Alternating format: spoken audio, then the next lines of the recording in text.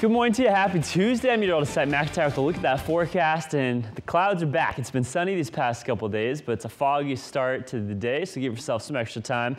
We're looking, we're taking a look out from Carmel, but we're seeing those clouds all over the coastline this morning.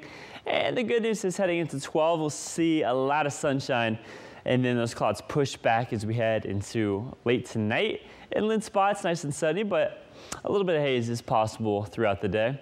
Temperatures low 70s to upper 70s, Capitola and Santa Cruz, 80s to 90s, Santa Cruz Mountains.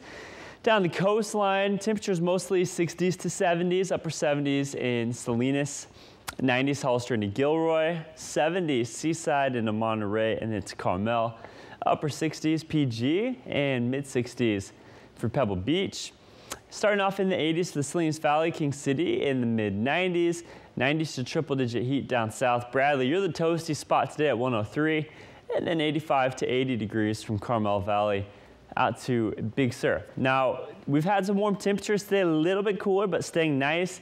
Uh, we warm right back up into Thursday with cooler weather for the weekend, upper 60s to 70s, and inland spots staying hot over the next couple days. Mild today in terms of what we've seen, but uh, we'll start to cool off as we head into next weekend.